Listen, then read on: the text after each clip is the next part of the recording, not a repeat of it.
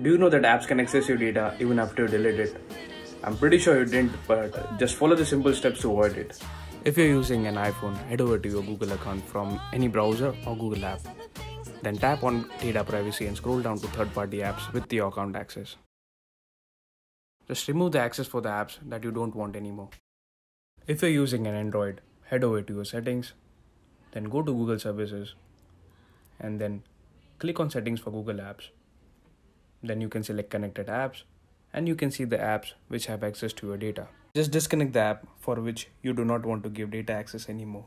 If you love the video, then share it among your friends, and I'll see you guys around.